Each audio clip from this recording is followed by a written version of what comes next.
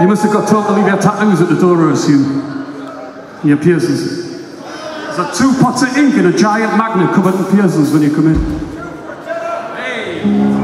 Right, we're going to play uh, what's going to be my next single next. It's a new song, we've only played it a couple of times. A song called Clear Skies. Hey! And it starts Sneaky just listener, sneaky listener.